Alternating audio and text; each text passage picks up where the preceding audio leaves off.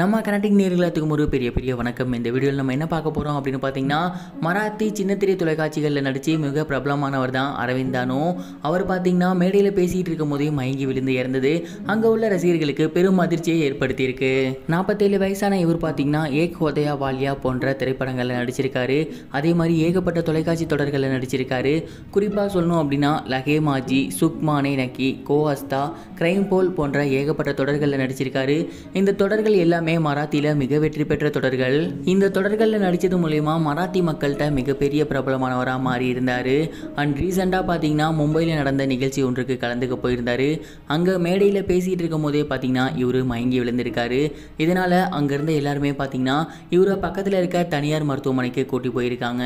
And அங்கே போனதுக்கப்புறம் பார்த்தீங்கன்னா அவர் மாரடைப்பால் இறந்திருக்காரு அப்படிங்கிற மாதிரி அங்கே உள்ள மருத்துவர்கள் சொல்லிட்டாங்க. மேடையில் பேசிக்கிட்டு இருக்கும் போதே அரவிந்தான அவர்கள் மயங்கி விழுந்து இறந்தது பார்த்தீங்கன்னா அங்கே உள்ள ரசிகர்கள் எல்லாத்துக்குமே மிகப்பெரிய ஒரு அதிர்ச்சியை ஏற்படுத்தியிருக்கு.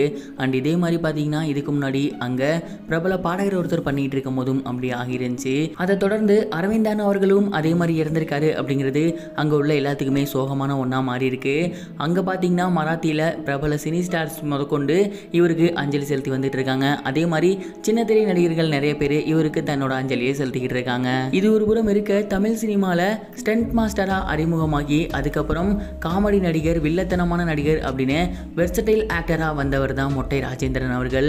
அவர் பார்த்தீங்கன்னா ஸ்டண்ட் மாஸ்டராக தான் தன்னோட லைஃப்பை சினி இண்டஸ்ட்ரியில் தொடங்கியிருந்தார். ஆனால் அதுக்கப்புறம் பார்த்தீங்கன்னா ஆர்யா நடித்த நான் கடவுள் படத்தில் ஒரு மிகப்பெரிய வில்லத்தனம் பண்ணியிருந்தார். அதை தொடர்ந்து சிங்கம் படத்துலையுமே பார்த்தீங்கன்னா அவர் ஒரு வில்லத்தனமான கேரக்டர் எடுத்து பண்ணியிருப்பார்.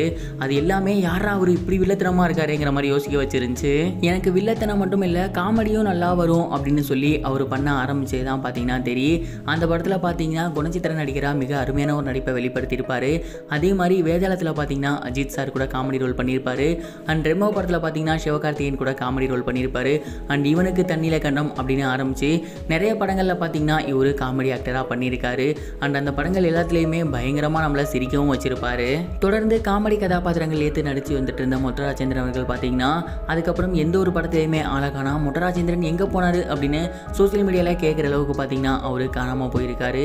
இந்த இந்த வருஷத்தில் அவர் ஒரே ஒரு படம் மட்டும் தான் பார்த்தீங்கன்னா நடிச்சே இருக்காரு.